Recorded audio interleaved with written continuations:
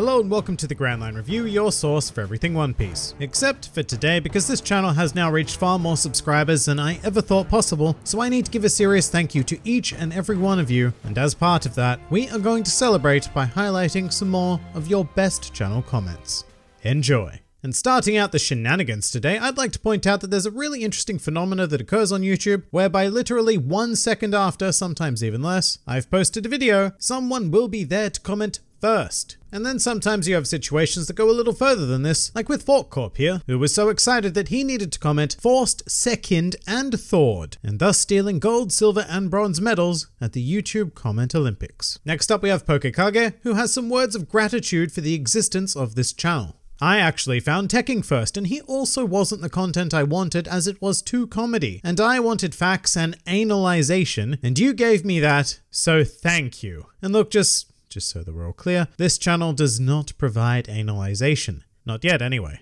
I mean, maybe we could make it a Patreon reward or something. But putting that aside for now, we go on to feature Joao Victor Gomes, who was quick to point out something that I'd missed in my One Piece 101 video on Das Bones. You forgot to mention his brother, Diz Nuts. And uh, yeah, that's my bad for not doing my research. But just to add a bit of an addendum now, Diz Nuts, like his brother Das Bones, was a famous assassin hailing from West Blue, and it turns out both of them applied for the position of Mr. One in Baroque Works. Now they happen to be the only two people who applied for the position, and so the ever-serious Sir Crocodile was faced with a bit of a dilemma and ended up choosing the one whose name sounded the least funny, which in this case somehow ended up being Das Bones. And so Diz Nuts returned to West Blue and became an, uh, an, an acorn farmer or something. So I hope that clears things up. Moving on, we have one of my favorite types of comments on this channel, criticism. And Mark Rami Dongogan has some choice words for me regarding one of my anime reviews. Purely bullshit. Seriously? Just bull. Some is precise,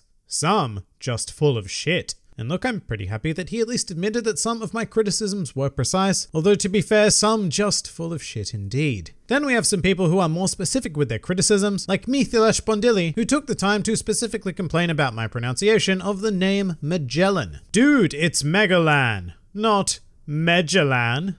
Lol. And this is the point where I'd usually make fun of whoever the commenter was, but I probably didn't even come close to pronouncing his name properly, so uh, you can have this one, mate. However, I refuse to have any mercy whatsoever in regards to Ritzo Cuck, which I, I would rethink that name, for trying to correct me in regards to special paramecias. A special paramecia is a special paramecina.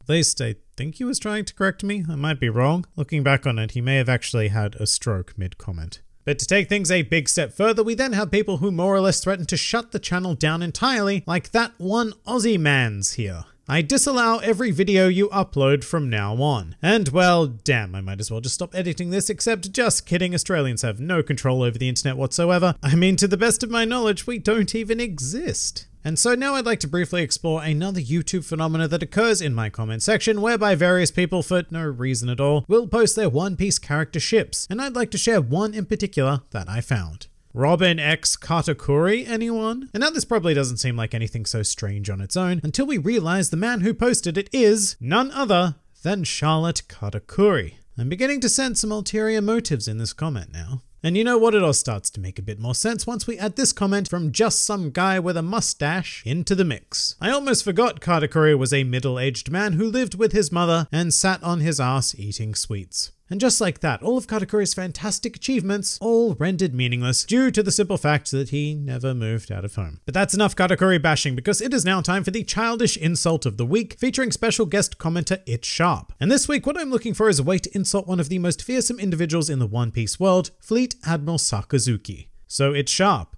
what would you say to Sakazuki? More like, suck a dicky. and you know what? That's, that's not bad at all. But now it's time to get down to business. On the last Best Channel comments, you were all asked a very important question, and that was, are Luffy boneless or not boneless? And well, we appear to have our answers. And we'll kick things off with Mestayoku. Luffy is clearly boneless because we all know that Bon Clay is currently in Impel Down. A sad truth, but we must all accept the fact that we are all boneless. Mestayoku reminding us that we do truly live in the darkest timeline. However, moving to another sector of the boneless argument, we have William Jackson. Loof are boneless till Thriller bark. Now Brook make Loof not boneless. And you know, I'd, I'd never really thought of it like that. Or like any of these comments, or even the question, to be perfectly honest with you. But here we have another answer, I think, from Carlo of Kachow Labs. No, no, no, no, no, no, no, no, no. Loof not boneless. He has like four bon. I don't know though.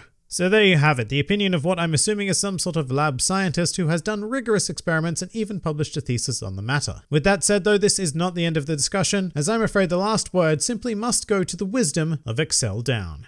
Loof are clearly boneless, because otherwise, he lasagna.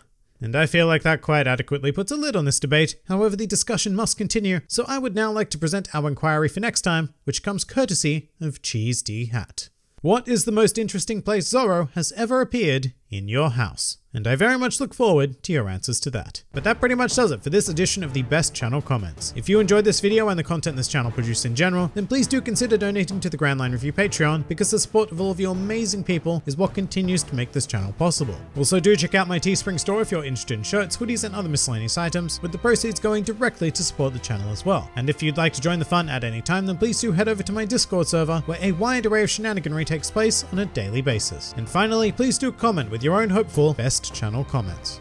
This has been the Grand Line Review, and I'll see you next time.